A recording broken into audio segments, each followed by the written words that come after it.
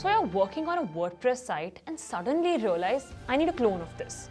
Maybe you want to back up before making big changes. Maybe you want to migrate to a new host or maybe you just want to duplicate a client site and reuse the layout.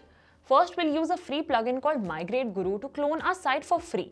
Now, some people use all-in-one WP migration plugin to clone their site, but here's the catch. It's not reliable. They've capped the export size to just 500 MB, but things start slowing down and failing well before that.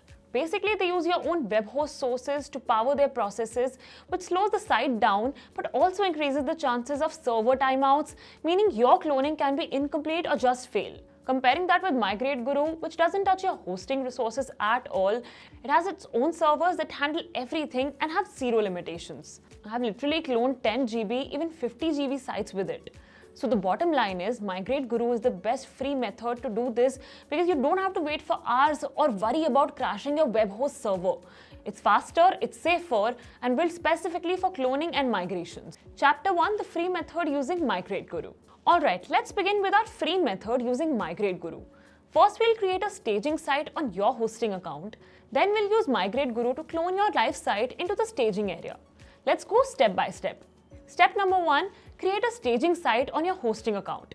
For this demo, I'm using Cloudways. If you use SiteGround, Hostinger, Bluehost, whatever, it's the same idea. You just need to create a fresh WordPress install to receive the clone. So log into your hosting dashboard, click on Add Application, choose your server, select the latest WordPress version as your app, name it something like Client Clone Staging, wait for the installation to finish, You'll now have a fresh WordPress site. This will be your destination site where we'll migrate the original content. Step number two, install Migrate Guru on both sides. Now we need to install Migrate Guru on both your original site, which is the source, and your staging site, which is the destination. So install and activate the plugin on both sides and keep those tabs open. Step number three, start the migration from the original site. Now open the WordPress dashboard of your staging site, the blank one.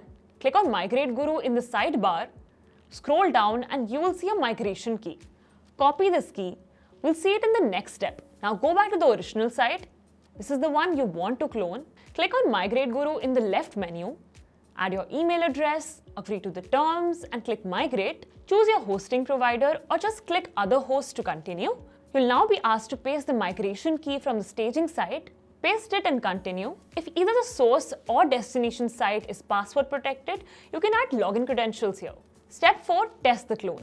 Once Migrate Guru says that migration is complete, open the staging URL in a new tab. Log on to WordPress dashboard using the same credentials from the original site. Browse the site, check the pages, forms, plugin, everything should be an exact copy. Now you can safely test changes, install new plugins, tweak designs without touching the live site. Click here if you want to triple your site speed in just one minute.